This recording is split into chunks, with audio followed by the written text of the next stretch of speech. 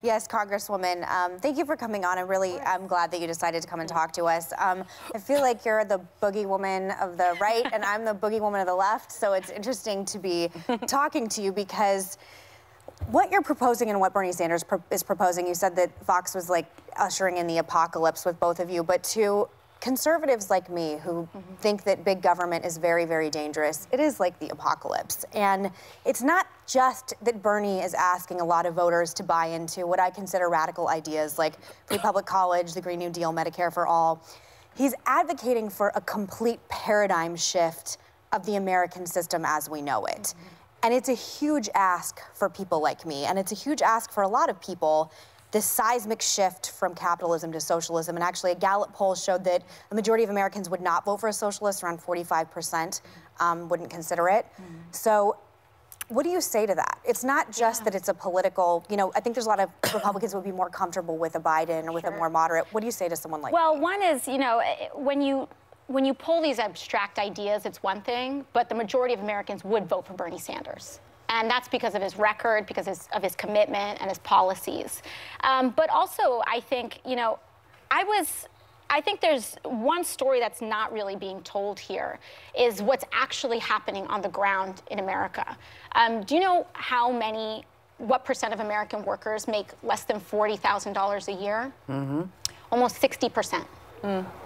60% of Americans You can't are, live on that in New York. You can't live on that way. in New York, and you can barely live on that anywhere. You can't you live, live, on, that, that if you have kids. No. And, um, and I think that that reality, personally, does require a paradigm shift. Um, this isn't working for us. And a $2.1 trillion tax cut, which has been deemed capitalism at its finest, doesn't work for us. Right. Um, You're losing your husband because he couldn't afford insulin because big pharma cares about profits more than people as capitalism at its finest does not work for us. And I Bernie think has a hard time explaining how he's going to pay for it, though. So let's talk about how we'll pay for it because I think we need to um, talk about what policies. A tuition-free public college. 2.2 trillion over 10 years. So uh, so it's funny because um, policies are always, progressive policies are always talked about in 10-year price tags. Uh, conservative policies are always talked about in one-year price tags. and so our military budget increase went up by 70 to 80 billion dollars one year alone, about 100 billion um, you know, since Trump started, pretty much, or it's, about, it's been about 100 billion increase since Trump uh, started. We don't ask how he pays for that. When we talk about big government, we don't talk about big government interjecting themselves into the bodies of women and gender nonconforming people for anti-choice policy.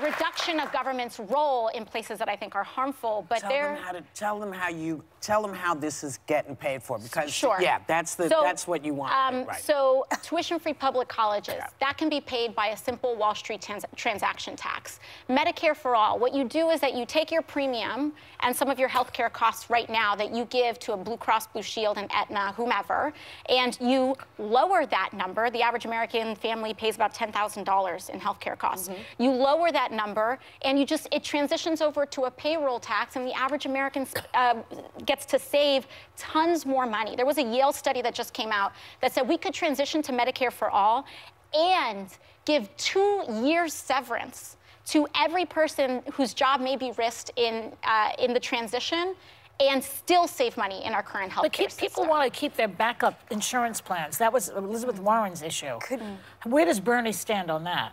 On their like their Medicare supplemental. Yeah, the supplemental. So, um, so Medicare for all. The what private. Private um, also. Private. People private also, private. not just Medicare for all. So private. I mean, uh, supplemental. So I think that um, if we're talking about our normal health care plans, I think people like their doctors.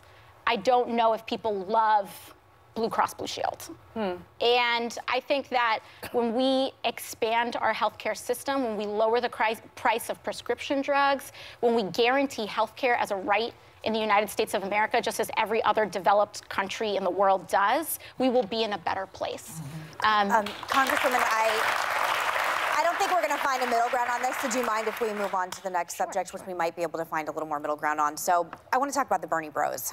Um, the one thing that connects women on the left and women on the right, I have found at least a lot of guest hosts, a lot of guests that have come on over the three years I've been here, is the abuse that we have all been subjected to by Bernie Bros. It is by far, of anything I've ever done in my entire life, the most violent, the most misogynistic, the most sexist, the most harmful. My mother has cried over doctored photos Bernie Brothers have sent me, and I'm just one story. He has a real problem. Hmm. And I don't think that he's doing enough to tamper it down. Hmm. If it were anyone, I'd say this has no representative of me. It's disgusting. It's vitriolic. And every time I see him talk about it, he's like, doesn't represent me, move on. Mm-hmm. You're a extremely powerful woman. Hmm. How do you feel that he's attached to this deeply misogynistic and I would go so far as to say violent sector of people?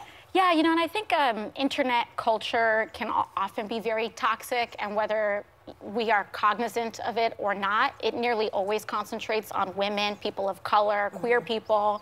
Definitely. and uh, we experience the brunt of it. And um, I think, you know, I, I think that to a certain extent, you know, we have to always reject hate, reject vitriol, um, and denounce that kind of behavior. Um, also, you know, we also know the amount of anonymous activity that happens on the internet, and that simply is difficult. It is difficult to control when you have like a, you know, a a, a Twitter handle with a bunch of numbers on it with two followers that are lobbying vitriol at you. We don't know where that comes from, Yeah. but I know that it doesn't. I think he's done enough campaign. to try and stop it?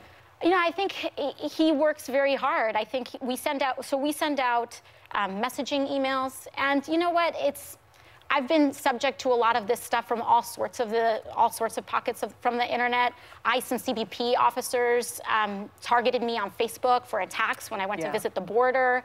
Um, they photoshopped, you know, people who are supposed to be protecting immigrants and children, uh, photoshopped He's got to do more. Horrendous, He's got. He's so- got to. He's got to. He's got to stand up and say it every day if he needs to. Yeah. Stop this. We're not accepting it. for It's sure. not good for us.